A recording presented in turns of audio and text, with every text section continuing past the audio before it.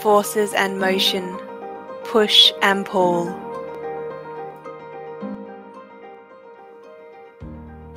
When an object moves from place to place, it's called motion.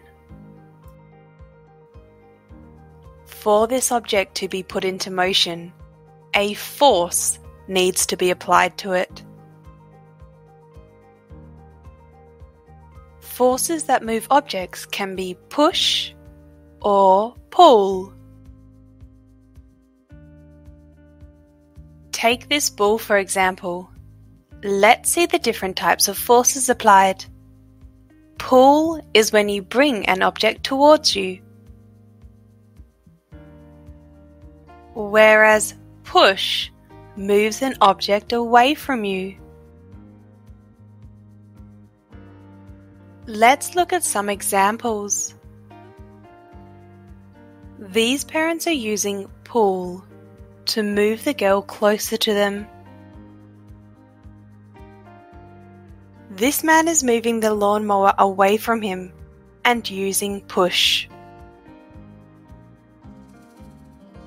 Let's play a game. I'm going to show you different examples of force and you need to tell me whether it's push or pull.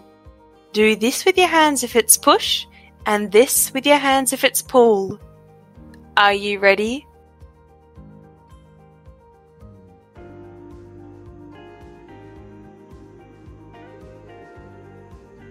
Push.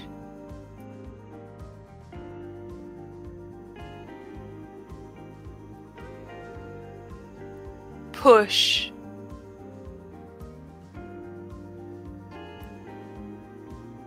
Pull.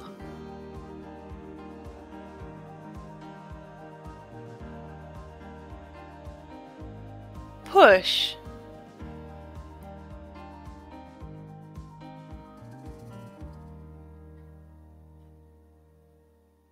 Push and pull.